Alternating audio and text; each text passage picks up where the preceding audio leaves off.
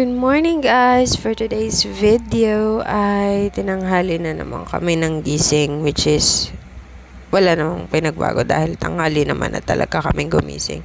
Ewan ko ba, nagbago na naman yung body clock ni Ray. Dati kasi um, natutulog kami like 8pm or 9pm. Ngayon, 11pm late, pinaka-late na is 12pm.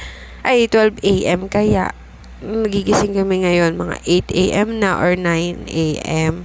Hindi ko alam bigla siyang nagbago. So anyways, pag nag-start ang morning natin, ang una kong ginagawa is uminom ng water para ma-rehydrate yung body natin and ma-cleanse siya. Yan.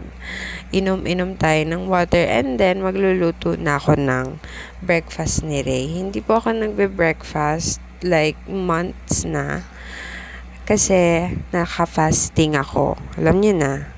Yes, naka-fasting ako. And minsan naman, nagbe-breakfast ako.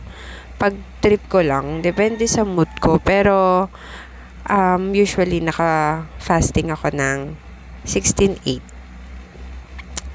So, ayan. Siyempre, kailangan sweet-sweet muna tayo sa umaga kay Ray. Sobrang clingy kasi ni Ray, kaya ganyan, naging clingy na rin ako. At napakalikot niyan. Gusto niya palagi umakyat sa silya ng dining table namin. Diyan sa mga silya na yan. Which is kaya kailangan talagang bantay na bantay mo siya. Kasi natatakot ako kasi baka mamaya biglang matumba day. Mamumura pa ako ng tatay niya pag nagkataon. So, For her breakfast ay nagbalat ako ng orange kasi favorite ni Ray ang orange. Sa lahat ng prutas na meron sa market ay favorite niya yan. At pag naghihimay ako ng orange, tinatanggal ko yung parang ano niya, yung white, yung pinakabalot-balutan niya. So, yung parang mga pulps lang as much as possible yung natitira. Kasi minsan, parang nagagag pa rin si Ray kapag nandun yung white. Pag medyo, medyo malaki pa yung white na nandun. Tapos, naglaga rin ako ng itlog para sa breakfast niya. At wala siyang rice for today's video. So, ayan, nagpapakyut lang kami. Rinan nyo, ba diba? Super clingy talaga ni Ray. As in, parang mawala lang ako sa paningin niya ng 1 to 2 minutes. Mamaya maririnig mo umiiyak ngayon.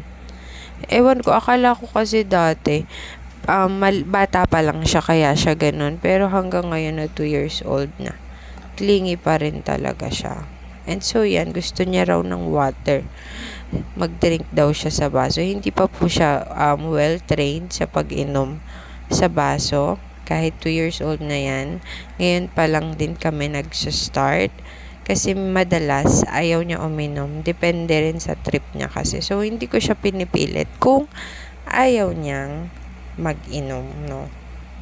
And then, na-realize ko na mag-avocado na lang pala siya kasi parang hindi ganun kabagay yung orange and nilabo na egg. So, avocado na lang and boiled egg yung papakain ko sa kanya. Ganun. Kasi 'di ba ako kasi lumaki ako na parang umaga tanghali hapon kailangan may rice. But then I realized na nung naging nanay na ako, hindi naman pala kailangan talagang morning ay naka-rice. So, in-explore ko rin yung yung mga ibang pagkain kasi syempre si Ray kasi minsan biglang pag laging ganon, nagsasawa siya. Do I understand naman kasi maliit pa siya.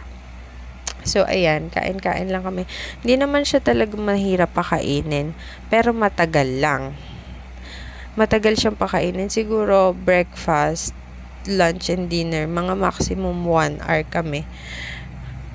Kasi, lalo na pag ano, pag walang, wala siyang pinapanood, tulad niyan, hindi ko siya binigyan ng uh, ng gadgets para makapag-watch habang kumakain. Pero usually kasi um, meron niyang pinapanood habang kumakain eh. So, dun siya nasanay. Pero ngayon, ginagawa ko naman na walang gadgets habang kumakain. So, ayan, after ko siya pakainin, syempre, di ba, maglilinis tayo ng pinagkainan natin. Ayan. hugas-hugas lang tayo mga day. So, yan lang naman. Ganyan lang naman kami mag-breakfast ni Ray. Basta, pagkagising namin, bangon, tapos pinapa-breakfast ko na agad siya.